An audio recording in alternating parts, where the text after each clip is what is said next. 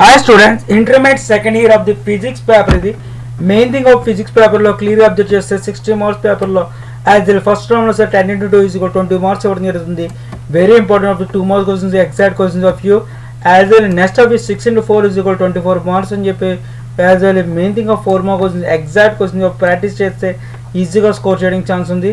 Next of two into eight is equal sixteen marks అని చెప్పి ఇవ్వడం జరుగుతుంది?